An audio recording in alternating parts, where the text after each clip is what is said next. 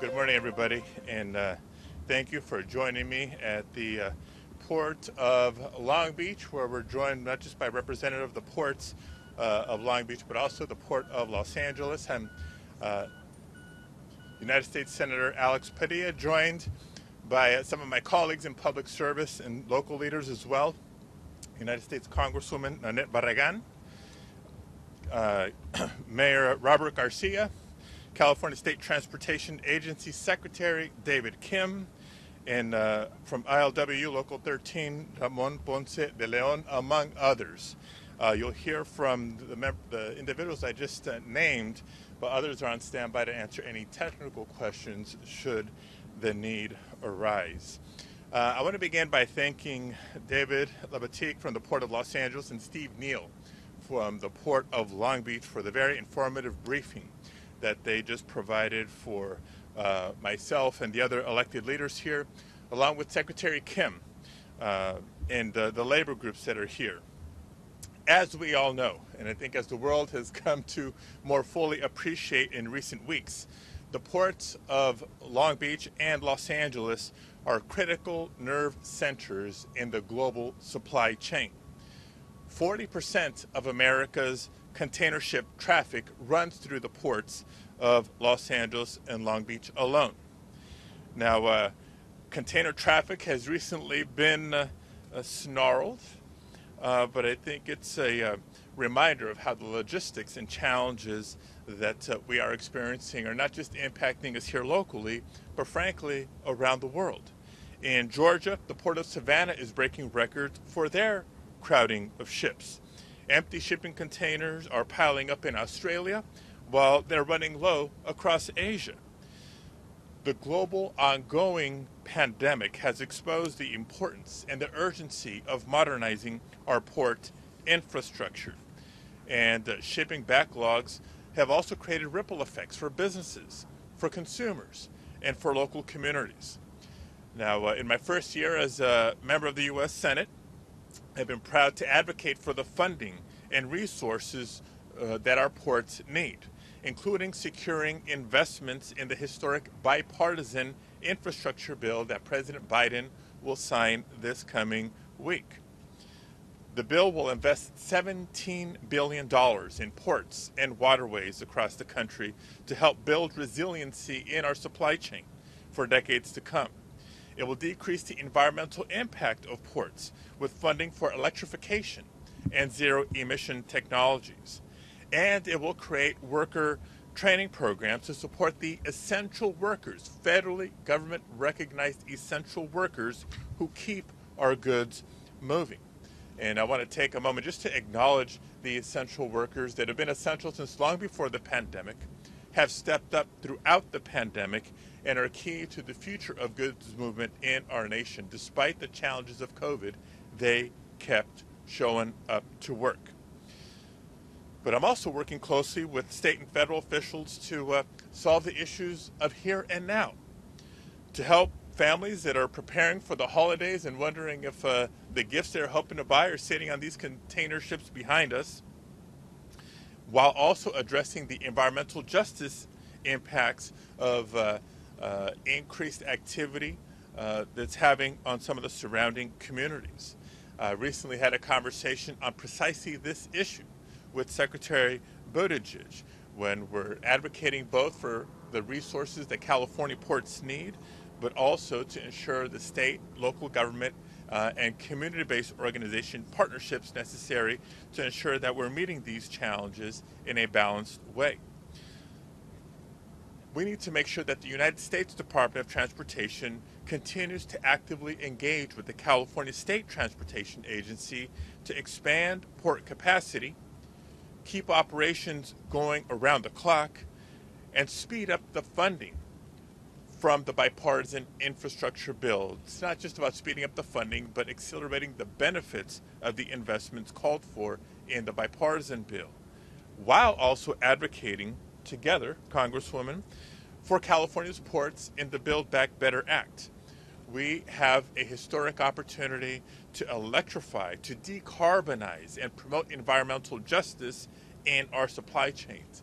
And all of these leaders standing here together will continue to collaborate uh, to do just that, and in so doing, address both short term and long term difficulties impacting the supply chains. So, again, I want to thank everybody who stepped up during the COVID 19 pandemic, especially the essential workers who have taken on extra shifts to unload containers and drive goods across the country. Before introducing the next speaker, let me just offer a few words in Spanish as well. Uh, les quiero dar las gracias a todos por estar aquí con nosotros en los puertos de Los Ángeles y Long Beach. Como todos saben, los puertos de Los Ángeles y Long Beach son centros críticos, críticos de la cadena de suministro global. El 40% de tráfico de carga de los Estados Unidos entra por estos dos puertos. Y en este momento el tráfico está enredado por problemas que se presentan en todo el país y en todo el mundo. La pandemia mundial ha puesto un enfoque en la importancia y la urgencia de modernizar la infraestructura de transportación y de los puertos de nuestro país. Las inversiones históricas uh, en el proyecto de ley bipartidario que va a ser firmada por el presidente Biden es una gran oportunidad de lograr esto. Esta medida invertirá 17 mil millones de dólares en modernizando los puertos uh, y las vías navegables en nuestro país. Reducirá el impacto ambiental de los puertos también y creará programas de entrenamiento para apoyar a los trabajadores esenciales. Pero también queremos asegurar la, la colaboración de líderes estatales y federales para seguir resolviendo los problemas cuando se presentan, no solo hoy en día, sino en el futuro también. Uh, y les damos gracias a los trabajadores esenciales uh, que siguen trabajando día y noche para mantener el movimiento de la mercancía del país. Thank you again for being here with us. Let me introduce my colleague from the House of Representatives, Congresswoman Nanette Barragan. Thank you, Senator, and thank you uh, to Mayor Garcia and everybody involved here at the ports that are working day in and day out to address uh, the supply chain issues and the backlog that we've seen here. Um, as was mentioned, the $17 billion uh, for infrastructure is going to be critically important for the ports here that will help us be able to build the infrastructure that's long overdue. Let's remember, this is a historic investment in infrastructure, and this is a historic investment in ports. And this couldn't come at a better time where we have the supply chain issues, where we have this backlog we know was caused by COVID, and we saw the supply chain start being stretched because of that. And so today uh, we were able to meet with uh, those at the port here to tell us how, uh, what we need to do and, and how we need to, to make sure that when these dollars are being released in Washington, that we are making sure that, that Los Angeles and here the San Pedro Bay Ports complex is at the front of the line. Um, we have had record breaking uh, numbers of the volume that's coming in and out. We have more demand for goods than we have ever seen, and of course, coming up along the holiday period. Um, so, know that this is such a critical time to have this uh, bipartisan infrastructure bill done and delivered on Monday, will be signed into law. Uh, we know the administration has also talked about fast tracking some of these dollars, uh, which we really, really need. Um, but we also need to think about the environmental impacts. And so, one of the things that we got to make sure to continue to do across the finish line is get the Build Back Better Act through. That's a bill that will have dollars into something I've been working on since uh, my last term, a climate smart ports bill that will allow investments in zero emissions technology. So, when you talk about increasing 24 7 operations, uh, we hear from the community the impact it's having. We've got to make sure we're doing that as clean as possible to invest in the zero emissions technology.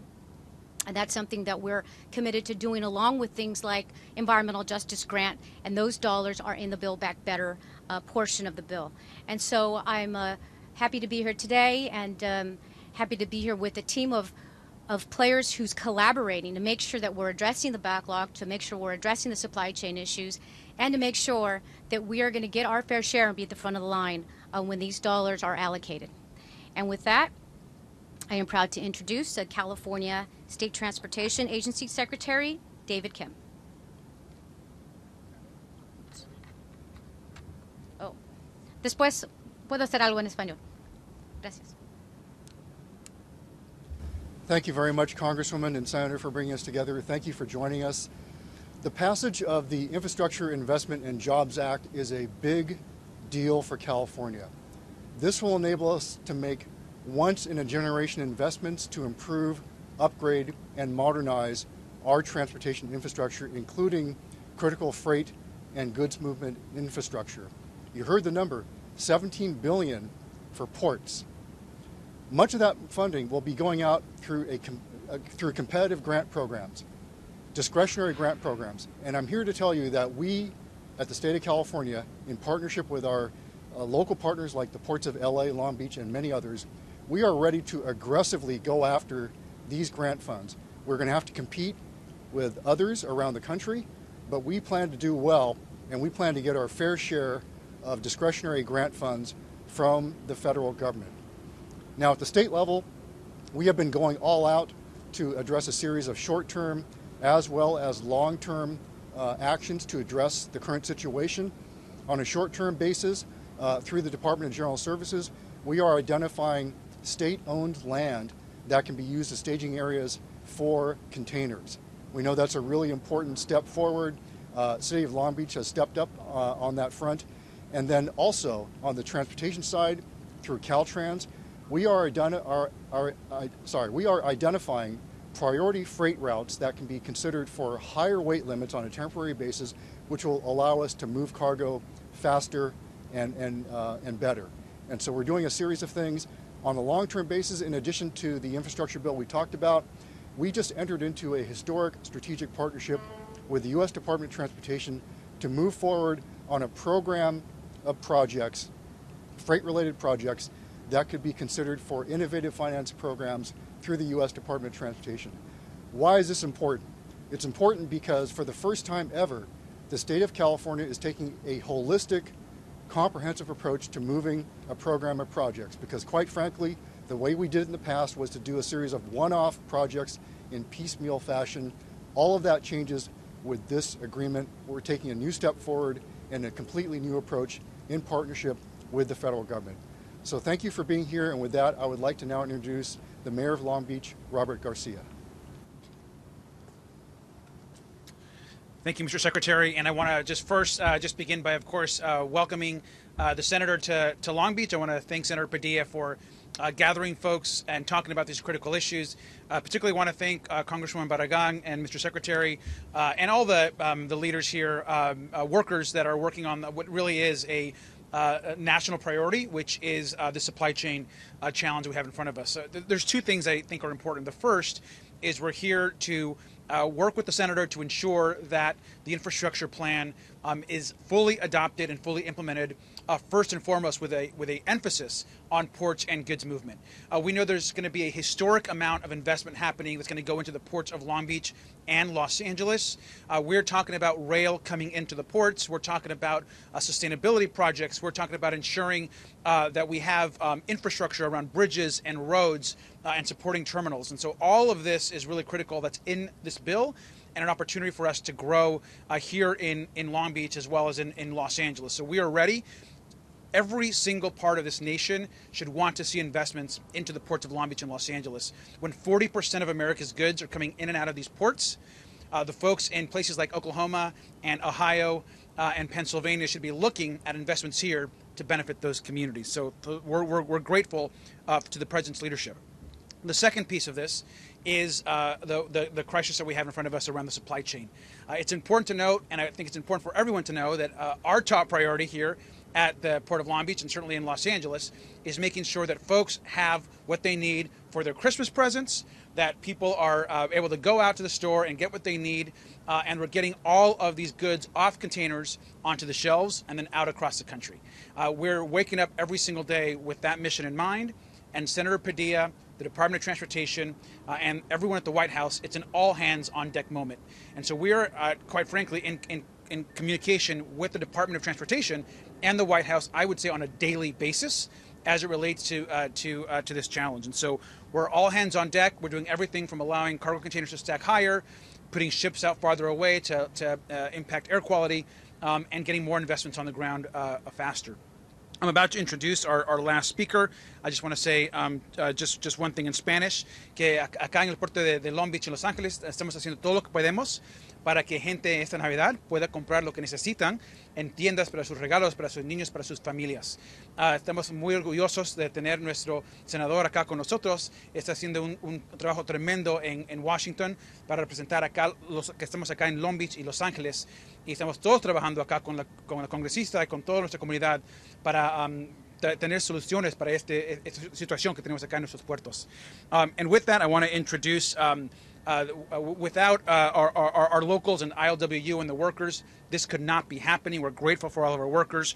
Uh, uh, Ramon Ponce de Leon heads ILWU, loc- uh, our, uh, one, of- our, main locals here, uh, whether it's Local 13, um, uh, uh, or all the, the, the locals that work here and across the country, um, uh, America's ports are being uh, powered by our, our workers. And so I want to introduce Ramon to say a few words as well. Thank you, Mayor. Uh, we'd like to uh, thank uh, also uh, the senator for his leadership in coming here in person, along with Congresswoman Barragan, uh, to come here in person and, and really see what's going on with the supply chain, asking questions, and finding uh, solutions. That's leadership, and we appreciate that. Since the inception in 2020, the longshore workforce, Class A, Class B, casual workforce, the foreman's local, and the marine clerks, we have not let our foot off the gas pedal. We are continuing to go to work amongst the COVID, the congestion. We've had we've incurred 22 active deaths since the inception of COVID in March of 2020. We continue to show up day in and day out. We average over six. We average over six days a week working. That is time away from family. We're double shifting, and we're continuing to work to put this cargo through. We have a vested interest. We are grandparents. We are fathers and mothers. We have children. We have people that need uh, the same supplies any other person needs in America. And we understand the needs of America to push this cargo through. Our part is to make sure that this is a fluid operation. Early in August, we immediately sat with the employers and expedited a process to have qualified crane operators for the delivery of cargo, which is in place. 250 skilled operators have been put in place since then. We're going to continue to make those changes in our collective bargain agreement. In between, whatever it is, we'll put things aside and, and do what we need to do. And just for the record, that we've always been able to work a third shift, which is the uh, the 24/7. That's in our contract. All we had to do is say, have the employers order us. We'll be there. Come pick up the cargo. We'll deliver it. And the last thing I would like to say is God bless America. God bless everybody that is putting their hand to the task here to make things happen, to relieve the congestion. We feel it the same way any American does. We're Americans working for America. Thank you. Thank you, Ramon. And uh, with that, uh, we'll open up to questions. Sir. Hold it. representative right there. We were told that there was a strike ongoing with, with, with workers here. So could you address that? And also, Sure. could you address for the folks who are watching at home that may not understand supply chain, the folks who are dealing with gas that's approaching five dollars a gallon here in Southern California, how is it that, that they're supposed to understand what's what's going on exactly? Because we're not seeing ships moving in, we're not seeing the trains operating, we're not seeing the cargo being taken off these cargo ships. So can you explain to, to, to, to the regular Californian what's going on? Sure. The, uh, so let me let me do that part, and then we'll ask uh, the union representative to talk about uh, your other your first question. Um, so, look, there's really two things going on. What's happening to help improve the efficiency uh, of port operations for the long term? That's what we're celebrating through the uh, actions by Congress, the bill that the president's going to sign this coming Monday, and the follow-up legislation uh, that's in the Build Back Better plan. Uh, but I get that that's for the that's for the future. As much as we can try to accelerate that funding, it'll have an impact starting next year. Uh, but that's not here and now. And so, the big point of today is you see all of us collaborating with one another. It is the federal government. It is state government. It is local government. It's also private sector partners, right? The, the carriers, the, the trucking companies, the retailers, et cetera. Everybody's working together to find ways to expedite the movement of, uh, uh, of cargo uh, and merchandise. And we're seeing uh, that happen already. um, invite one of the port directors uh, to be more specific about, for example, enforcing the rules of fees that uh, carriers pay when containers are sitting on the docks past a certain amount of time. Just sheer recalling that rule and enforcing that rule has dropped the number of containers and the length of time the containers here more than 20 percent. That's both for Long Beach and for Los Angeles, and it's getting better. So, long way of saying, look, the, the ships aren't waiting as long as they were just a handful of weeks ago to come into port. The, the containers aren't staying on those ships as long as they were just a couple of weeks ago. So the, the, it is accelerating. The pickup and the movement of cargo is accelerating, but it's a step-by-step process. Ramon? Wants to know. He thought there was a strike going on right now. Oh, I want to clarify. yeah. No, eh, here's what's happened. Years ago, we caught a thing called JIT, which is just in time delivery. If you look at the big warehouse stores, that's a retail store and a warehouse.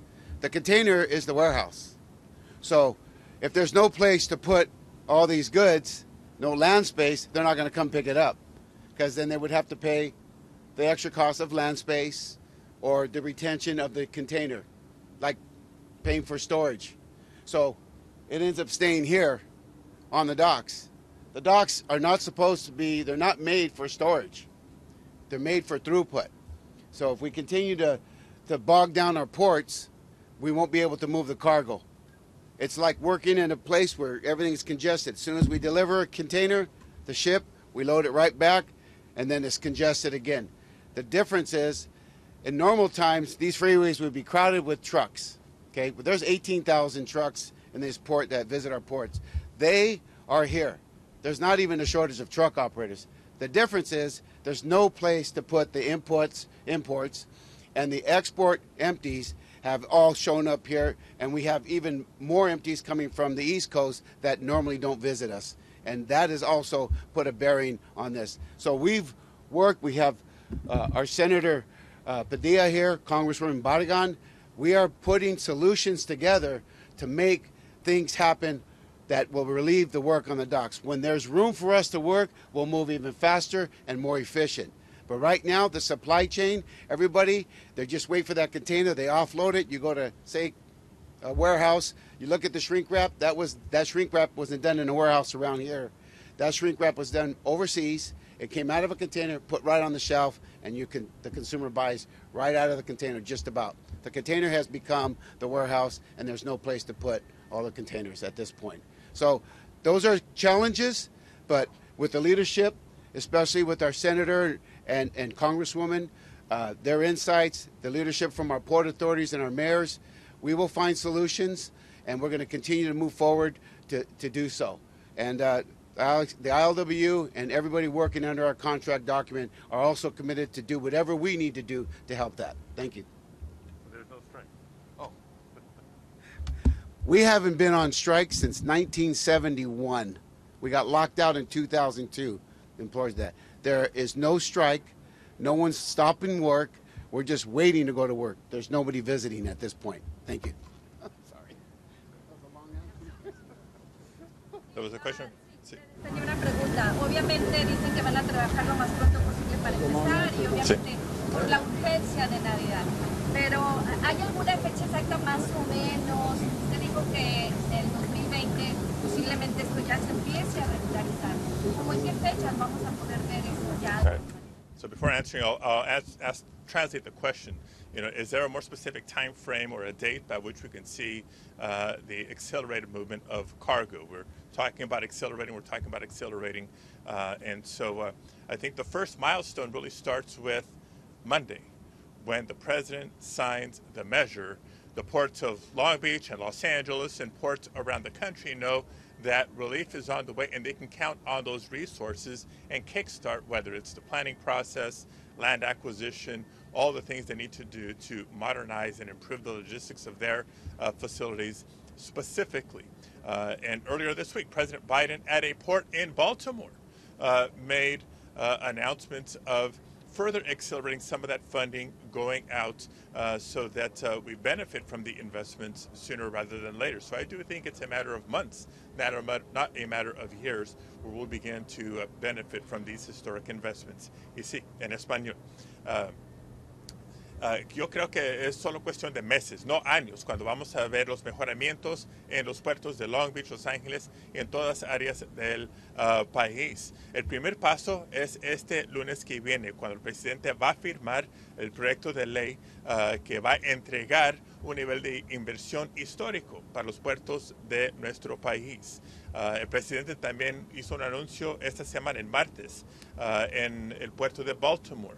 Uh, cuando se aprueban los, los, fondos, hay modos de acelerar la entrega de esos uh, fondos a los estados, a los puertos uh, del país y los puertos ya tienen sus planes, ya tienen los proyectos en mente. Cuando saben que pueden contar con esos fondos, esos fondos que van a abrir, pueden seguir con, o, o, consiguiendo más terreno para poder ampliar los otros proyectos que ya tienen en mente para modernizar los puertos. Gracias. Next question. All right. Last question here. Anything you can say about the oil spill? Believe that an anchor for one of the cargo ships hit a pipeline out here, 25,000 gallons of oil spill. Okay, well, and we'll take this as the last question. It's not exactly shipping related, but yes, uh, the the recent oil spill. No, I hear. Right. No, I mean the movement of cargo. The, the, the theme of today, I should say. Sorry. Yes. I know that's one of the theories. so, um, yes, I was out here uh, just uh, several weeks ago, as you recall, uh, taking a tour of the recent oil spill uh, off the coast of uh, Huntington Beach. Um, the, the, cleanup uh, seemed to be a tremendous success. when I was here, we heard the state attorney general open an investigation. So you now have federal and state and some local investigations that are ongoing to get to the root cause of the issue. So I don't want to get ahead of those investigations and any discipline or accountability that will come from those. I do think the fact that we're able to anchor ships further offshore is really a win-win, right? It's not just the uh, air quality, environmental impacts of some of the surrounding communities that will benefit by any emissions coming from those ships that are waiting to come into port uh, being further away, uh, but also any uh, danger or risk associated with anchors, uh, uh, oil production infrastructure that's uh, underwater right now, it should hopefully prevent some of those concerns as well. Having the ships 150 miles out wouldn't change anything that should be backbone? No, I think uh, we, again, we, we, with the planning and information technology that exists already, uh, when uh, the port is almost ready for yet another ship to come in, the word goes out you know, in, in proper time so that it doesn't slow operations down here, just keeps it safer for everybody. Congresswoman. Um, I, I just want to um, I just want to remind everybody that our infrastructure has been broken. We haven't invested in infrastructure in a very long time. And so when you talk about COVID and what was happening during COVID, we had warehouses in Asia starting to shut down.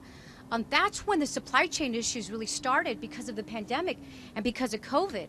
And so, what we have been left with, uh, with the Biden administration on day one, said we are going to have to invest in infrastructure. We've got to get this done so that we can get the supply chain moving like it should be.